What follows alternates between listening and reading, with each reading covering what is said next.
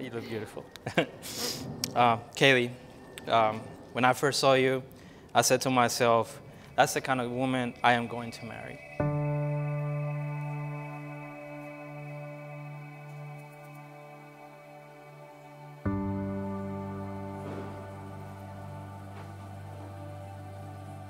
Amorcito, as I sit here, uh, waiting to get ready, was reminiscing about all these years and everything that we've gone through, and it's hard to get emotional. I had so many emotions combining to this big one moment. You are so amazing and are such a blessing in my life. You made my life full. I still think I'm dreaming anytime I am next to you. Being away from you, even for just one moment, it's like a part of me is missing.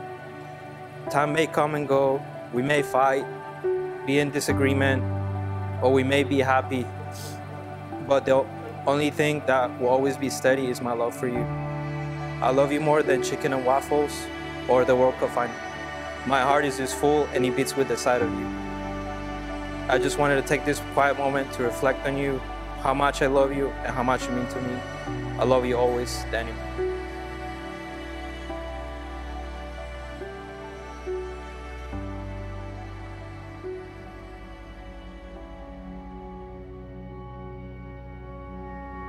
And it was such a joy for me to hear the story of these two families coming together and having such great, on both sides, examples of sacrificial love. Stories of moms and dads that worked through hard times, and grandparents that had legacies of selflessness and patience and, and, and endurance and perseverance. So I just want to say, you know, just, it's been a joy for me to spend time with this couple and to kind of get to know some of you out in the crowd that have been watching these two. As we stand here on our wedding day, my heart is overflowing with joy, love, and gratitude. We have been blessed with so many amazing things in our lives and throughout our relationship that I almost cannot believe it's real. When I first talked to you and got to meet you, I said to myself, I'm going to marry you. well, here we are. um, they say ask and you should receive, and I was blessed with more than I ever imagined. I'm eternally grateful for you entering my life and making it so much better. When we met, you found me among the chaos. You committed everything you had to me that very first night, and I could feel it. I was terrified to fall for you and had put you through the ringer to avoid it, but you never gave up on me. You knew. As we continued to grow in our relationship, the chaos seemed to clear. But what I didn't know back then was that the chaos never really ends. I had just finally found the one I needed to keep me grounded. I love your character, your selflessness, and willingness to give, and that beautiful smile that brightens up the day. You're an incredible person, and I'm blessed to live this life with you. I love you for everything that you are and have always been for me. My best friend, my support, my encouragement, my adventure, my headache, and all of it. On this day, July 14, 2018, I promise to keep loving you unconditionally promise to trust you and respect you. I promise to always be faithful. I promise to be your biggest fan and support you in accomplishing your dreams. You see me for who I am and love my insecurities away. I'm so proud of the man that you are, and I truly believe that you make me a better person. Hey, babe. Oh my God. You look amazing. Oh man, sorry. Oh wow. Oh wow. Oh my god, you look great. Oh my god. Oh. Alright.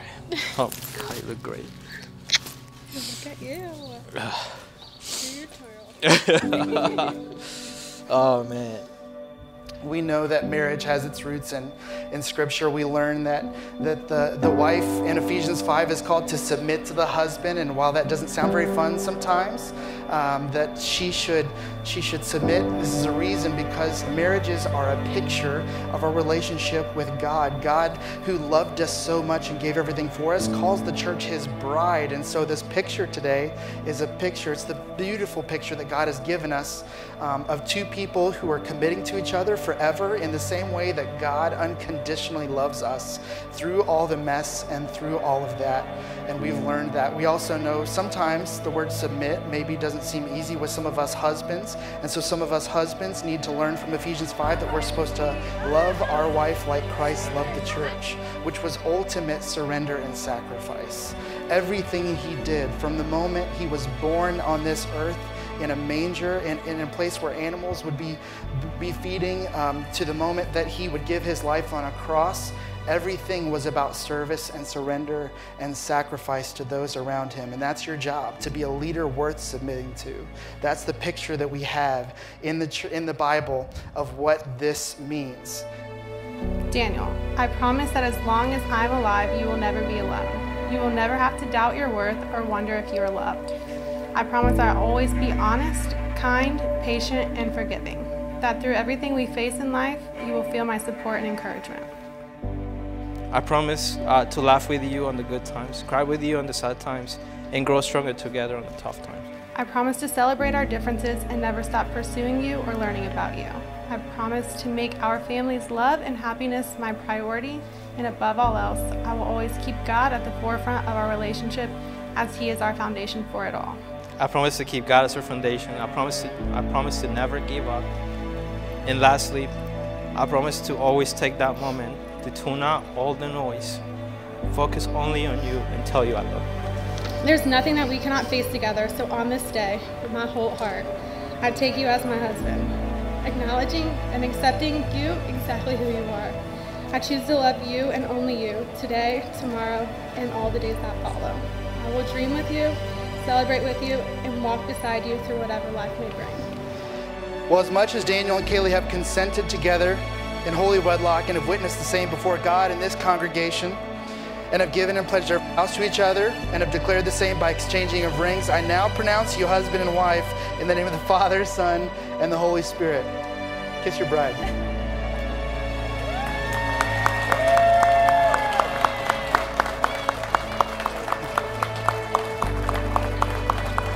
And it is my pleasure to present to you for the very first time Mr. and Mrs. Arteaga.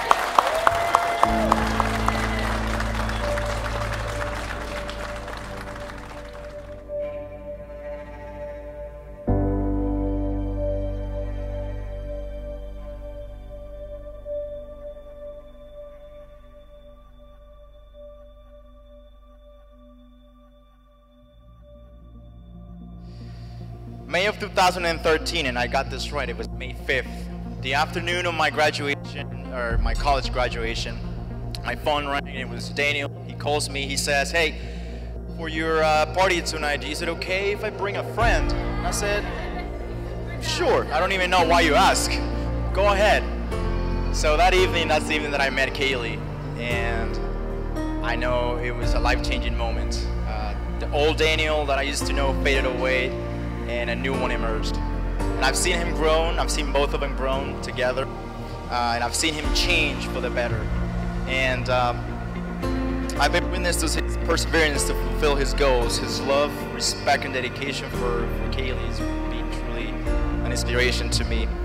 And uh, I've seen them both become better versions of themselves, and I think it's because they've built a relationship upon the pillars of God, family, love, and friendship.